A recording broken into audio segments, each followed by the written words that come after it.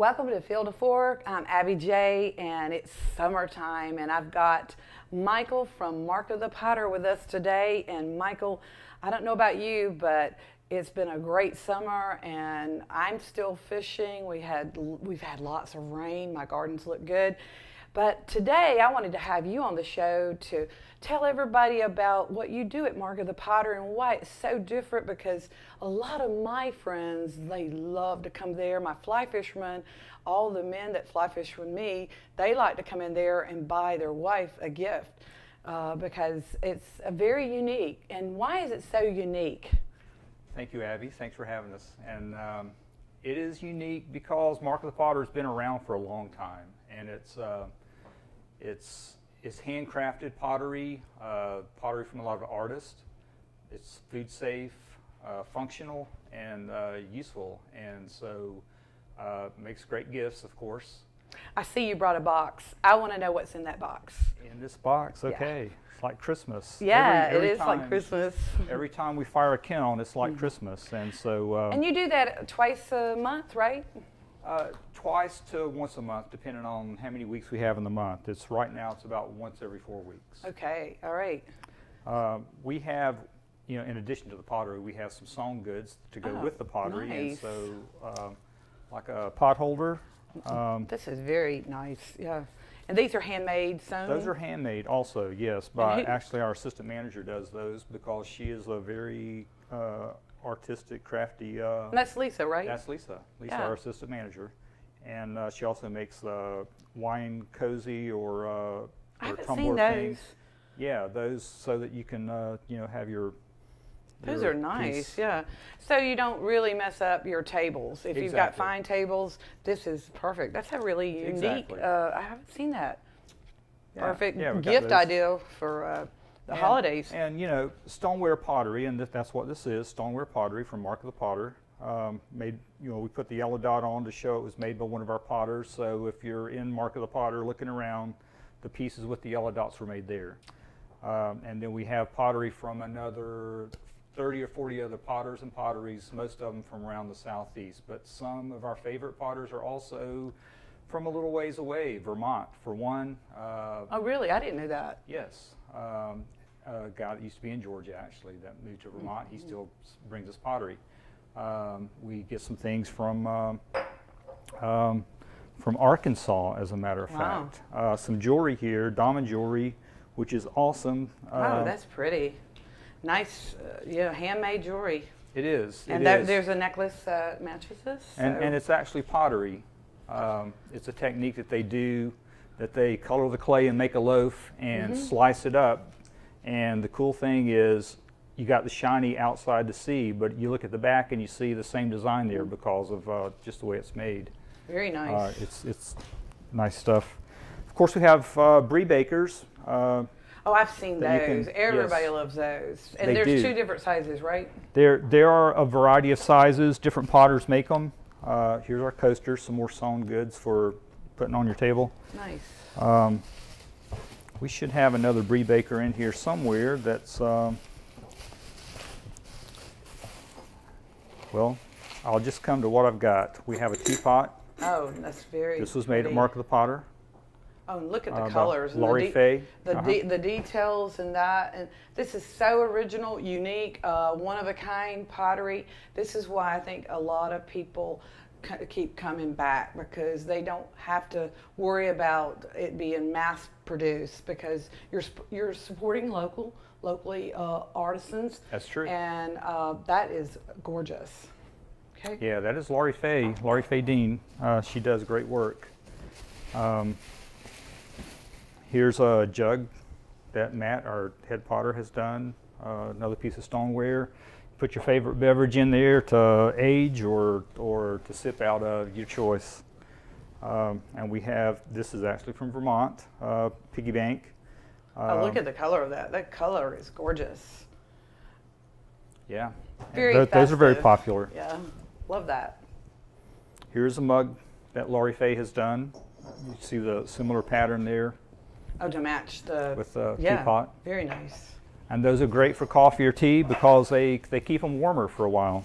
Um, you know, you can sip uh, keeps your beverage warmer or colder if you're if you're drinking iced tea. Um, this is by Sandra Byrne in Tennessee. Uh, she is a whimsical um, artist Mm. and gives us a lot of really cool things. Uh, that is just a little, could be a salt cellar, uh, short utensil holder, uh, something along those lines. Here's our other brie baker. A little, uh, little Oh, fancy a twist little, there. I love the holder. I Yeah. love that. That's that's really nice. Yeah, it's multifunctional actually because uh, you can also put your knife in there to keep it in place. Right. So you Uh, can serve. And you have your right. and you have your, your handle as well. And then about the only non-functional but uh, artistic, I mean, for art purposes, uh, a vase. This is a saggar foil by Gene Gandy in Florida. Oh, I can show you how it can be functional. You get one flower here, maybe. We'll try this. Voila. And there you have it. very pretty, very pretty, and this is a very nice touch. Uh, I think that um, a lot of times uh, people are looking for unique gifts, and, and Mark of the Potter has it.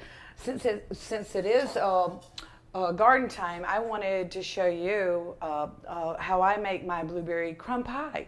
To, Awesome. yeah, and I've, I've used uh, some of the stoneware to do it with. But these are the ingredients you take. It's very simple, Michael. You take four cups of blueberries, and as you were coming in, you could probably see my blueberries in bloom up there. Yes. They everything's in uh, bloom. Harvest. It's harvest time here. There's three uh, tablespoons of flour, a half a cup of sugar, and one teaspoon of cinnamon. And you stir these ingredients up, and then you incorporate just a little bit of maybe just a tablespoon of lemon juice. Want to incorporate all of this, and then you want to put this in the pie crust, as so. Very simple, easy to do, but this is one of my favorites, Michael. And then what you want to do is you want to make the crumb crumb base here that goes on top of it. That's a half a cup of sugar, half a cup of flour, and three tablespoons of butter. And what we'll do here is incorporate this like so.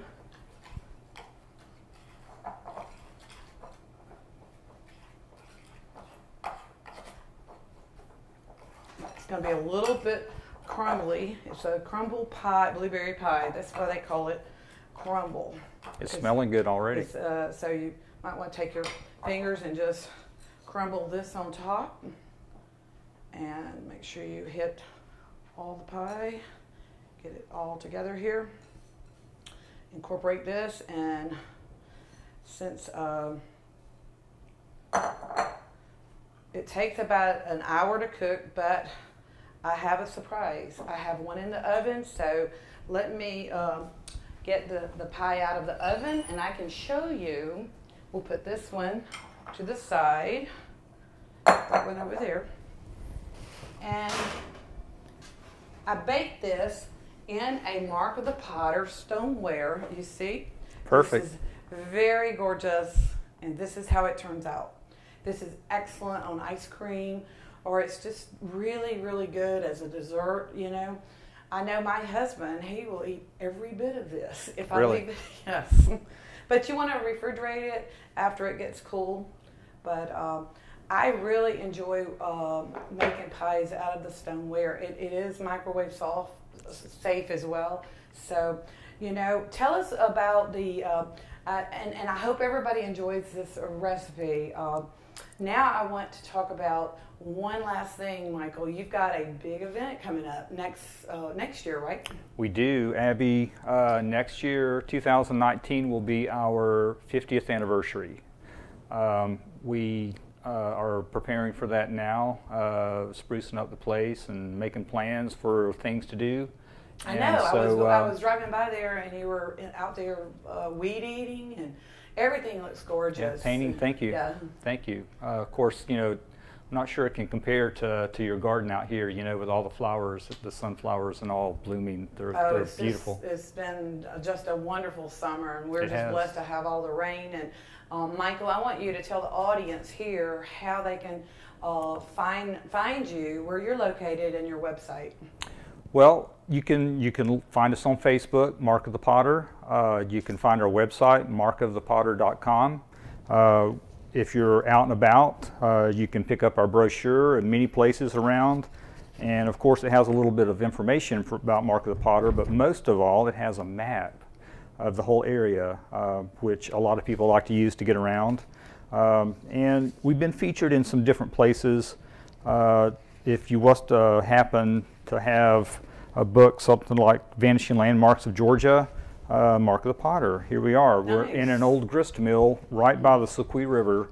Uh, Where the big fish are, right? where the big fish are. Lots of people sense. like to come see the fish, especially if they've been uh, fishing and not had much luck. Of course, if they're here at Blackhawk, they'll You have just tell uh, them lots. send them my way, and they can catch those big We do, fish. we but do. anyway, thank you so much for being on the show.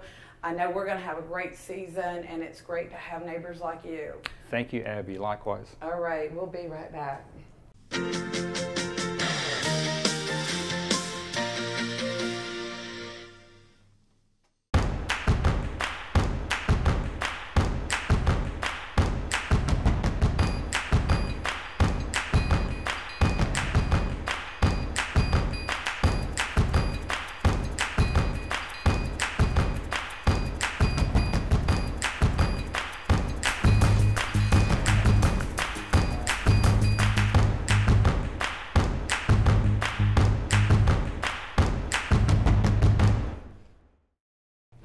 Welcome back to Field to Fork, and I have another guest today with me, Caroline Lou Allen. Welcome to the show. Thanks, Abby. Excited to be here. Yeah, okay. So Caroline is the marketing coordinator for Jaemor Farms. They have two locations. They have one in Commerce and they have one in Alto on 365 and I love love going there. These are the Georgia grown peaches and she brought some pies, but I just wanted to uh, go back in time a little bit with Jaemor. Uh, Caroline, can you tell us a little bit of history and what made this business where it is today? Yeah, absolutely. We'll certainly invite um, anybody and everybody to come visit us at the farm. Uh, but the Eccles family still owns and operates Jaemor to this day, and the farm started in 1912. Um, and the first generation of Eccles started growing peaches 106 years ago um, Wow. and sold them on the side of what is known today as Old Cornelia Highway. And that road runs parallel with um, Highway 365. How lucky can you Um, be right? to be uh, a, a shed? I'm sure it was. My my grandpa had a shed up in Hollywood, so this was an old shed, folks. So they were out there, and then four lane came, and wow, Absolutely. So fast forward, um, passed down to generation to generation. The third generation, um, that's Jimmy Eccles, um, and his wife Valverith Eccles took over around the 1960s. So about the time that we retired some mules and started getting tractors on the farm is about the time that Mr. Jimmy took over his family. So as a third generation. Um, and he kept buying up uh, land in the Lula Alto area. he took some risk. I'm he, sure. did, he took several risks. In fact, there's several stories of, of, of folks and friends in the area that are just like, why are you why are you Yeah. Mm-hmm. buying more land? And he just had this vision. Fast forward 20 years, um, and quite the entrepreneur because farming is a risk and he was a really smart man but a brave man to take those risks Absolutely. So keep, keep expanding the peach orchard. 1981, 365 or 985 was paved, extending the route from Atlanta to the North Georgia mountains. Of course, the stretch of the highway at Jaemor is called 365. Uh, but uh, the hi- the highway was paved and opened on one day, and Jaemor Farm Market opened the next day. Um, at that time, the farm was still known as Eccles Orchard, um, and it was the third peach stand in Lula Alto area. Um, and uh, Mr. Eccles owned, or Mr. Jimmy Eccles owned two of those peach stands. A cousin owned Eccles Hilltop Orchard. I'm getting tongue twisted now. I can only imagine how it was back then. So, so but but it's such an enterprise, and not only is there so much hi- history, Centennial Farm, uh, there are so many things going on there. Tell us, as far as agritourism, it's a mega, uh, you know, place. And what is happening other than the peaches, the pies? Yeah. What is going on? Well, absolutely. Well, real quick, just since 1981, we changed our name to Jaemor Farms, the acronym for Jimmy Allen Eccles. His wife's maiden name is Morrison. Um, so that's the M O R part. Right. Um, still Eccles owned and operated. Generation five, uh, four and five are involved to this day and have focused on expanding the farm and agritourism. So in the past 37 years, we've transitioned from just peaches and apples and pumpkins um, to strawberries, blackberries, your summer veggies of squash, zucchini, beans, watermelons.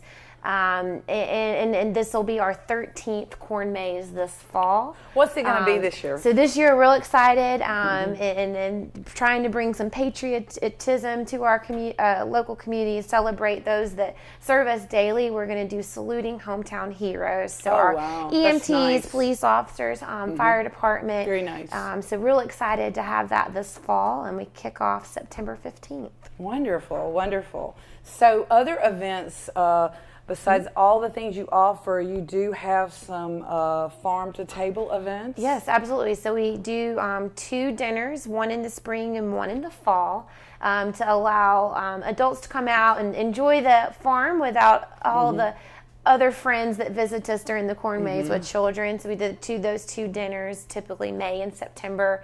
Um, but then we also have two events that will celebrate two of our top crops strawberries in May and peaches in August with two U Pick events or festivals Right, for and- families to come make memories and pick since we're not a daily U Pick farm like other agritourism locations across the state. So, you have an event facility that will hold up to 120 people, maybe? About 150 people 50. at the barn at Jaemor, and we do rent that facilities for weddings, family reunions, graduations, you name it.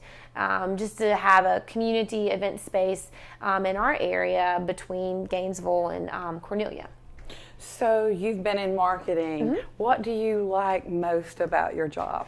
So probably my favorite thing about working at Jaemor, of course, of course, um, I grew up in agriculture and. Uh, just this is the, the time in, in our society and a lot of people are curious about their food. So i do run the social media pages or the voice behind Jaemor's social media accounts and i just love that one-on-one interaction that if you have a question about your food or how these pies were fried or the peaches were grown or what's my favorite peach variety i have those conversations daily um, online and that, that's a lot of fun. Who is your dad? Oh, my dad um, is um, Gary Black and works for the Department of Agriculture. I am so uh, blessed to know him and how much he has done for Georgia Grown. He has been uh, such an advocate for the Georgia Grown program. He's helped entre- entrepreneurs like me and uh, my friends. So uh, it's great to have him as our Commissioner of Georgia. well, Ag you. Commissioner of Georgia, that is. Yeah. But uh, getting back to this, though, what did you bring us today? So today I have um, some dried fruit pies, both peach and apple. These are your your um, your grandma's recipe. The dough that, That if you're if you're at. Jaemor, the the dried pies, the the dough is more of a biscuit um, consistency, and it is just jam packed um, with that dried fruit. This is how my Um, grandmother made them. yeah, and- and they taste that way. She would dry these apples out on a tin roof, and and then we would bake. I mean, same way. I can't help it, but I've got to taste this. Absolutely. Please dig in. Absolutely. Um, uh, dried apples, one of my good. favorites. Um, and these are some July Prince uh, peaches that is a freestone variety. A lot of folks ask for freestone peaches Memorial Day, but freestones come in after the 4th of July. Um, and we grow 33 different varieties. So you can have a different flavor of peach all summer long at the farm. And it was a great peach season, right? Mm-hmm. Yes. Great peach season. So, uh, folks, they have it all, and um, we really want to promote agritourism in, in Georgia, especially in North Georgia. I'm a little biased; I can't help that. But anyway, uh, go visit Jaemor Farms and Caroline. Tell them how they can uh, locate you and what your Facebook. Uh, Absolutely. how to find you. Absolutely. So, jaemorfarms.com online. Um, we are open seven days a week at both market locations. Um, on Sundays, it's 1 to 6, but the rest of the week, um, we're open pretty much 7 to 6. Some days 7 to 7, depending on what time of year um, you're in. If you're harvesting, I'm sure it's more hours. And uh, um, we're on Facebook, Instagram, Twitter, just at Jaemor Farms. Would love to invite you to like us, follow us, tweet us, however you communicate. Um, if you prefer to email, send us an email. We'll be happy um, to serve you. But come visit us um, and look forward to having you at the sweet spot. Yeah, and uh, for a fun day, uh, stop by there, and these pies are delicious. Absolutely. Thank you for having us coming on the show, and uh, we'll be right back.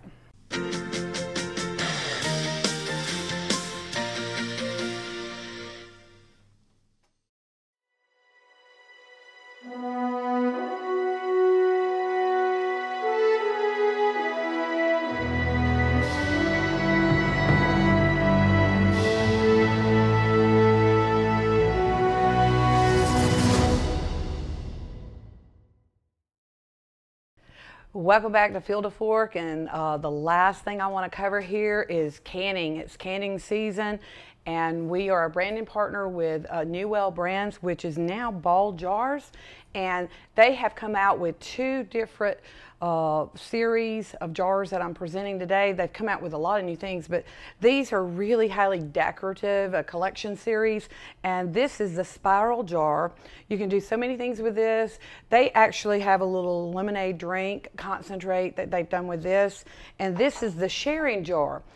My favorite time of the year is Christmas when I can uh, put things up during harvest season. And right now it is harvest season, and the sharing jars makes really good sense. Uh, and they feature a branded cherry recipe on this, so you can do so many things. Thank you for joining us today, and I hope you get to jar it up, enjoy the harvest, and please thank a farmer.